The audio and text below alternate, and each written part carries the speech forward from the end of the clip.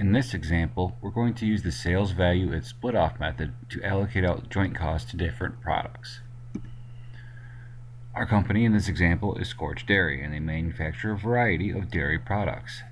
Uh, one particular product they make is cream and during the production of cream a byproduct called liquid skim is produced. So right then and there, we know that these products are going to incur a joint cost because we can't make cream without making the byproduct liquid skim. It comes from the same production process. So the cost to make cream is also going to be inclusive of the cost to make this liquid skim.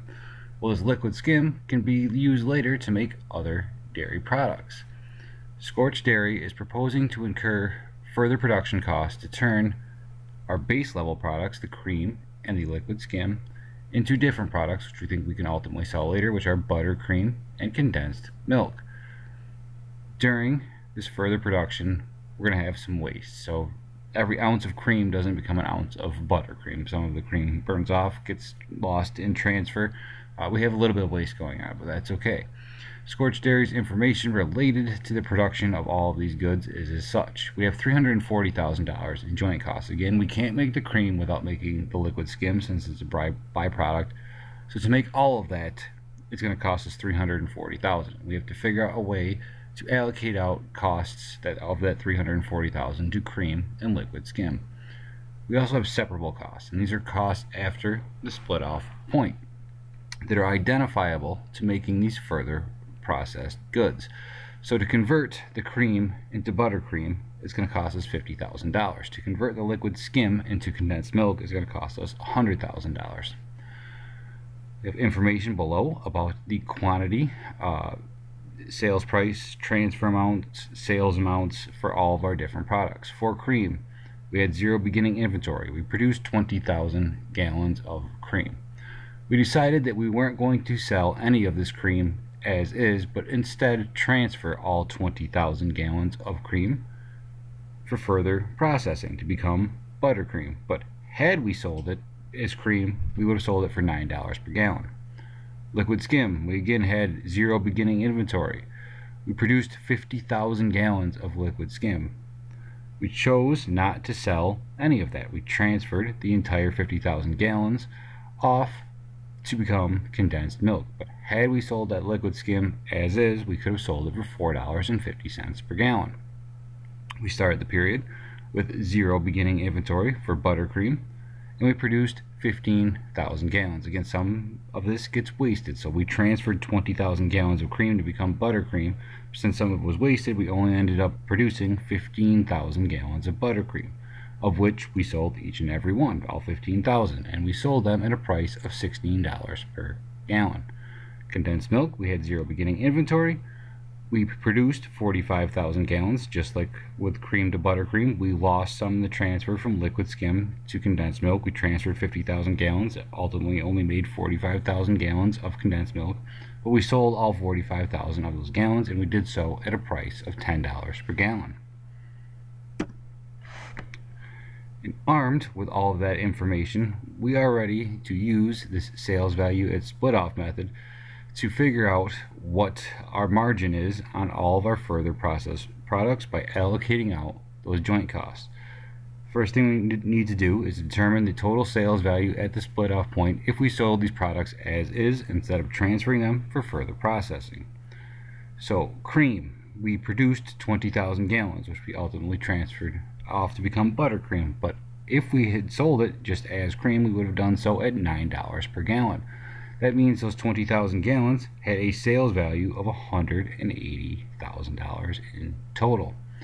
For liquid skim, we had 50,000 gallons, which we chose to transfer to convert to condensed milk, but had we not, we could have sold that liquid skim at $4.50 per gallon. And if we sold all 50,000 gallons at $4.50 per gallon, we could have had sales of $225,000 for liquid skim. So in total, Scorch Dairy could have sold these, you know, base level products, the cream and the liquid skim, for a total of $405,000.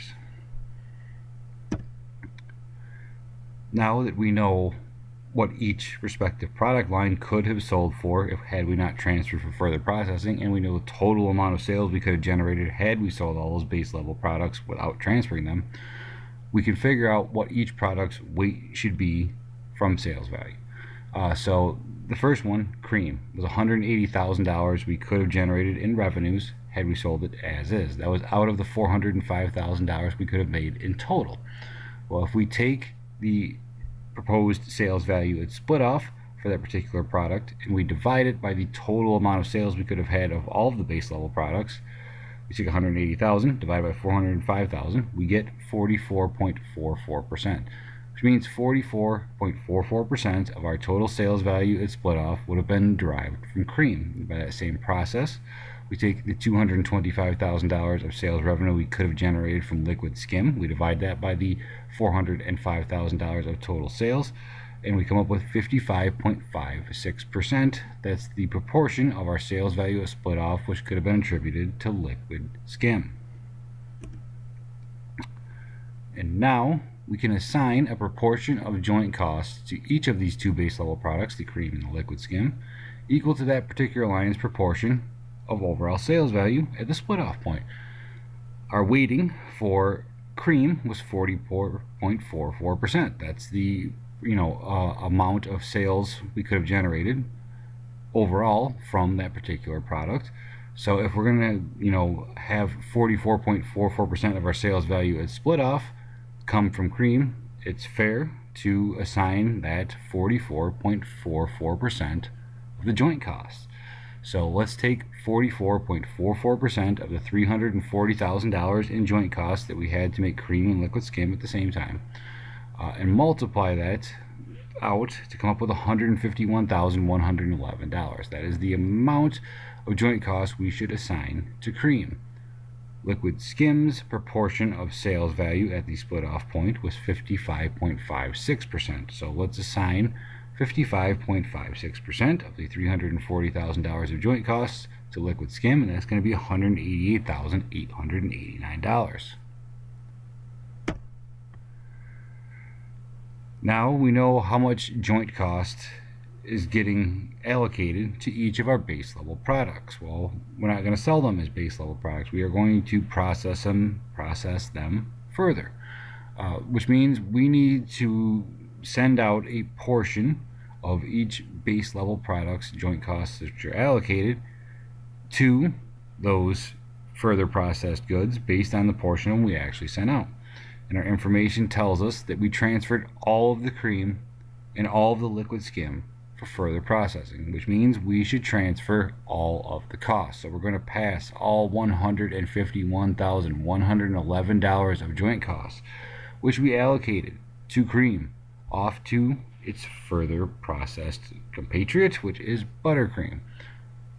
We transferred all of the liquid skim off for further processing to become condensed milk. So let's transfer all $188,889 of joint costs allocated to liquid skim off to condensed milk. Now, since we're trying to find ultimately the gross profit here, we're going to need to figure out what our sales were. So we're going to determine the sales value for each of our further processed product lines. Again, that is the buttercream and the condensed milk. We sold 15,000 gallons of buttercream. We did so at 16 bucks per gallon. And 15,000 times 16 is $240,000. For condensed milk, we sold 45,000 gallons at $10 per gallon. That comes out to be $450,000. So in total, we had $240,000 of sales from buttercream, $450,000 from condensed milk. That is a total of $690,000 worth of sales revenue generated by the sale of these further processed products. And now, our last step, we can prepare a product line income statement to determine what our gross profit and gross profit percentage was from each line. We just determined that for buttercream, the sales revenue would be 240,000 we transferred all $151,111 of joint costs assigned to cream to buttercream when we decided to process it further. So let's subtract that out.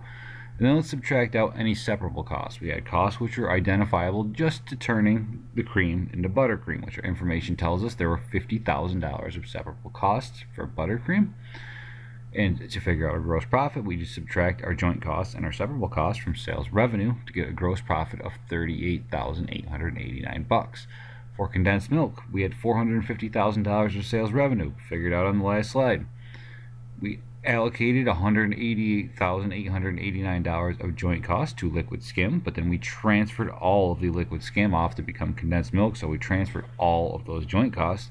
$188,889 of joint costs are going to be attributed to condensed milk. And then separable costs to convert that liquid skim to condensed milk, we spent $100,000, which is identifiable just to condensed milk. So we're going to subtract that from sales revenue as well to come up with gross profit of $161,111. And in total, we had $690,000 of sales revenue. Again, those $340,000 of joint costs, which we had to allocate out, eventually all ended up in buttercream and condensed milk. We had a total of $150,000 of separable costs, leaving us with a gross profit of 200 grand, which means that in the end, we can figure out what is our most profitable line, not by the raw number we have, but by the percentage. And to do that, we're going to come up with the gross profit percentage by taking our gross profit, divided by sales revenue, and convert it to a percentage. We turn a gross profit of $38,889 on buttercream. Let's divide that by the $240,000 in sales revenue to come up with 16.2%. For condensed milk, we had $161,111 of gross profit. Let's divide that by the $450,000 of sales revenue to come up with a gross profit percentage of 35.8. And overall, Scorched Dairy had a gross profit percentage of just below 29% at 28.99%.